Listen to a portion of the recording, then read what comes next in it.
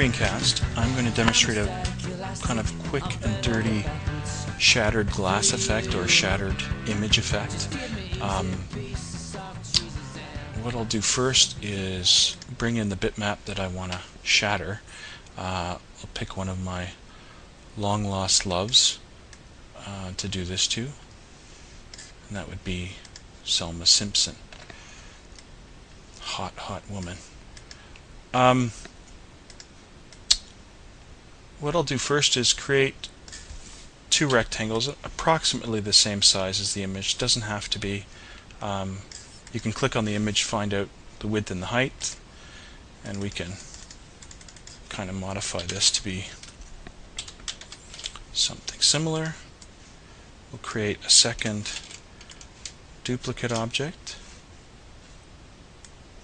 with a slightly different color just to differentiate the two.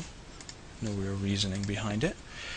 Um, now what I'll do is take that first, take this green object. Actually, it doesn't work too work. It doesn't work too well with black. I'll change that one to green. You'll see why in a second. So I'll zoom in on that first one a little bit closer, and I'm going to take the Bezier tool. Now I'm going to draw these spiderweb cracks around. I'm going to proceed kind of in a counterclockwise direction. Uh, you may have to do it a few times to get the effect to look right uh, and be happy with it, but we'll give it a shot here.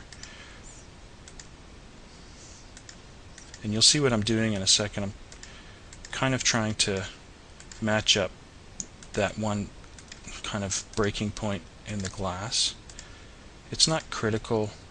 Uh, I don't think I haven't studied the way that glass shatters. Uh, and the points don't really have to be dead on, I wouldn't think. So that'll probably do it, and then I'll come back in, and I found that if I go around in kind of the same direction in a spider web type of pattern, I can achieve a somewhat realistic looking shattered effect. There we go. Now what I'll do is select the line, select the shape behind it so they're both selected, and I will take path intersection. No, I'm sorry. I will select them both. Let me make sure I've got them both. Take path difference, and I get that kind of shattered effect, or at least the pieces of that effect, part of some of the pieces. Um, and now what I'll do here is I will select the two objects, bring up the Align dialog box, and align them. And now I will, actually, let me back up a step. Let's duplicate that original. Then I will take these two, align them, and I will send the green one to the back and then I will do select both of them and do a difference function. So now I've got anything that's white in this shape is green in this shape so I've effectively between these two shapes got all the pieces. Now what I'm going to do is duplicate those two, which we may use in the end. And now, for each shape, right now, if I move this over, it's going to fill in the gaps perfectly there.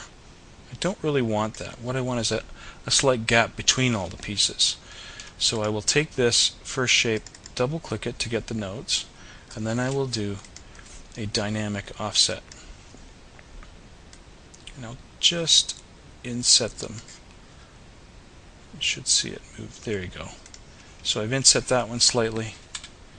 I will double click this one. Again, dynamic offset. Hit Control J on that one. And again, offset that one in slightly. If you don't like it, you can always undo it. Ah. Hang on. Ah. Sorry about that. My mistake. Control J and offset it slightly. That's fine. And now you can see that there'll be gaps between them. If I can get it over here to drag. So now there's going to be gaps between all the pieces, like that, which is what we want. Now what I'll do is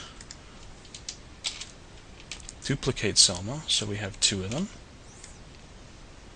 Take this one over to this shape send her to the back behind that shape. Select them both. And we're going to do Object, Clip, Set. So now she's taken on in those pieces. And we will bring Selma in behind this one. You don't have to get the alignment perfect uh, unless you're a real stickler. You can use guides and things like that. For me, it doesn't really matter for this purpose do object clip set.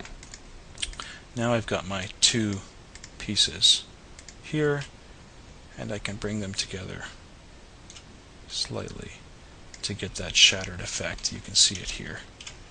Okay. Now one other thing you can do is you could put shadows under part of the pieces. Um, if we wanted to use this spare one that we left here, we could always make it black using fill and stroke, change the color of it to black, and maybe give it a, a slight blur. Bring down the opacity a little bit, maybe a even bigger blur, like that. And you can drag that up underneath those pieces. Send it to the back, so you get this kind of shadowed effect. That may or may not be something you want to do. If I choose not to, I can just leave it the way it is.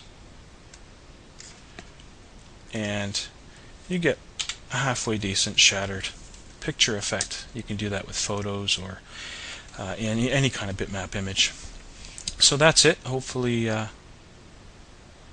you found this one interesting, and thanks for watching.